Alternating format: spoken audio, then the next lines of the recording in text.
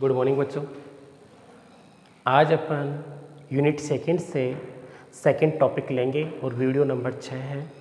उसमें अपन इससे पहले जो वीडियो देखा था, उसमें हम पार्श्वीय प्रवाह है, उसके जलमार्ग देख लिए।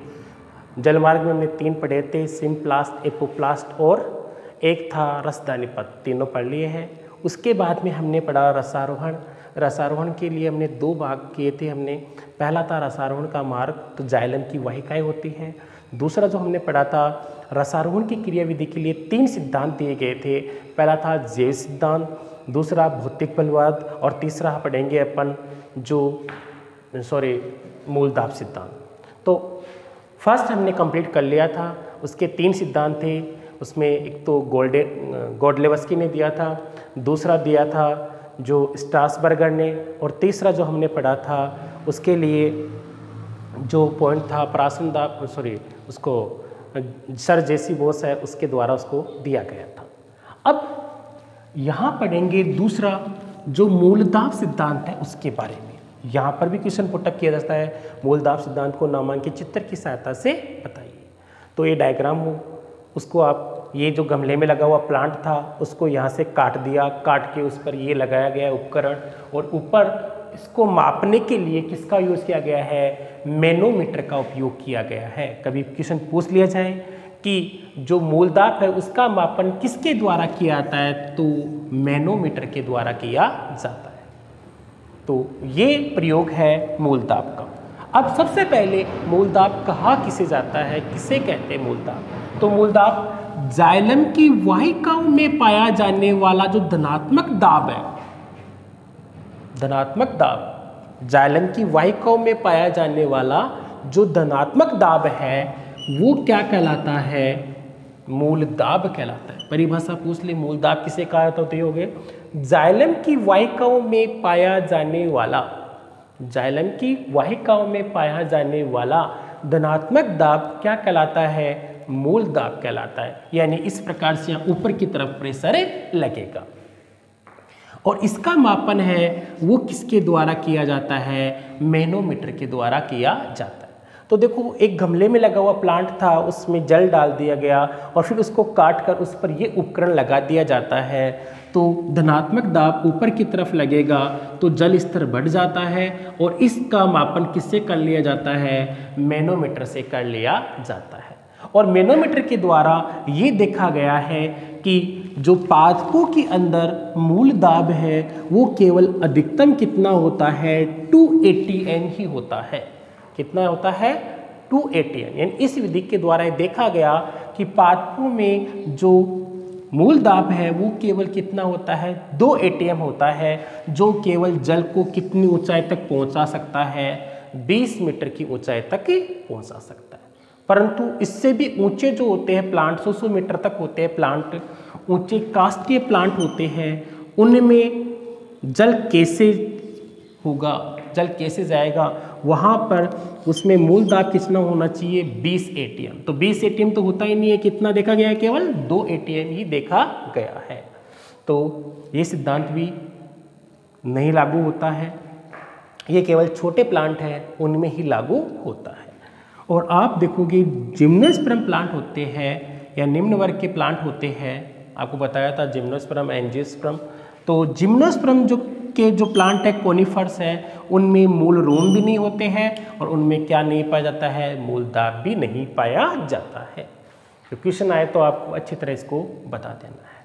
अब बच गया अपना लास्ट टॉपिक है, इस पार्ट में से केवल एक है। वास्पोर सर्जन ससंजन तनाव सिद्धांत, जिसको अपन भौतिक बलवाद सिद्धांत कहते हैं, वो देख लेते हैं। हाँ अगला अपन सिद्धांत देखते हैं, वो है भौतिक बलवाद सिद्धांत।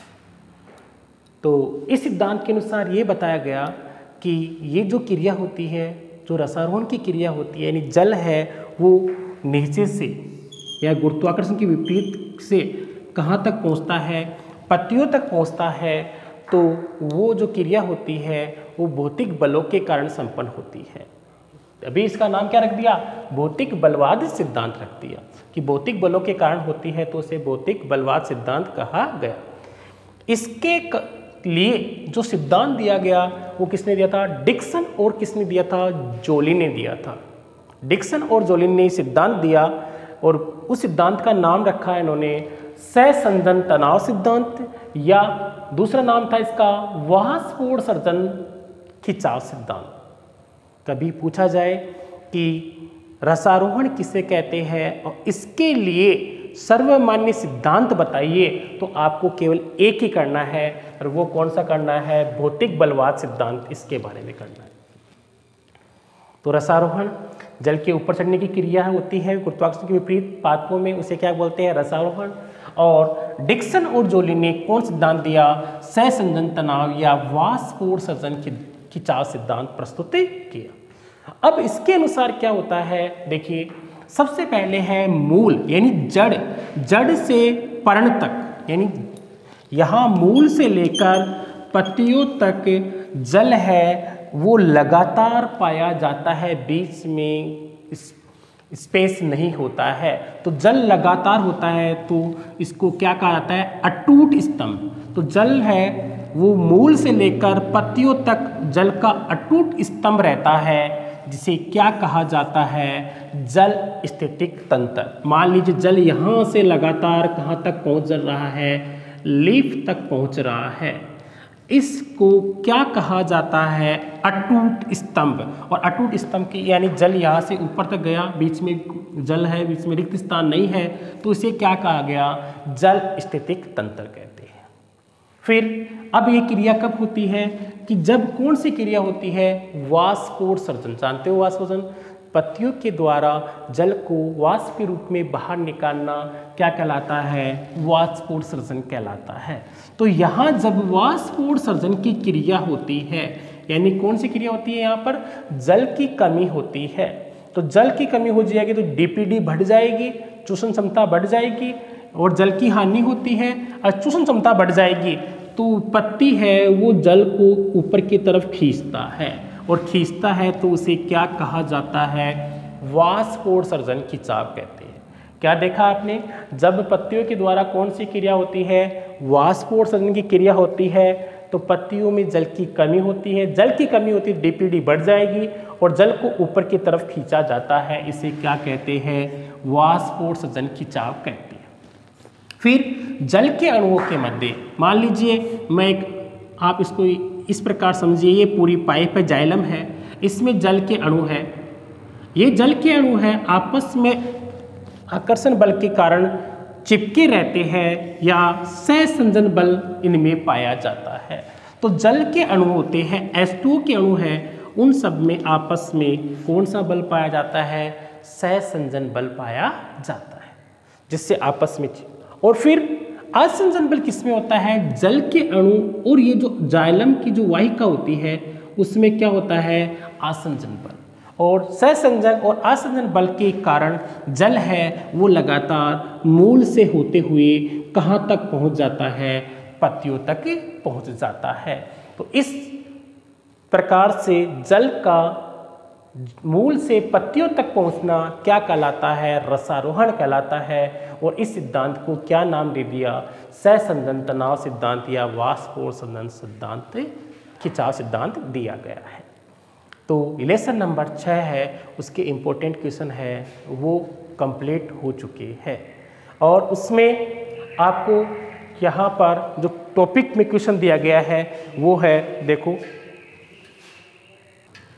हाँ तो ये इस चैप्टर से क्वेश्चन कंप्लीट हो गए हैं। अब आपको इस टॉपिक से क्वेश्चन का ये कमेंट करना है कि पादप है, उसके लिए सर्वमान्य सिद्धांत है, वो किस वैज्ञानिक ने दिया था? ठीक है, या अपन ये कह सकते हैं, वास्पोर सजन संजन तनाव सिद्धांत किस वैज्ञानिक ने दिया? और आपका सब जो पढ़ाया गया है, कंप्लीट, उसका टेस्ट होगा, गुरुवार को तो अच्छी तरह तैयारी करें। Thank you.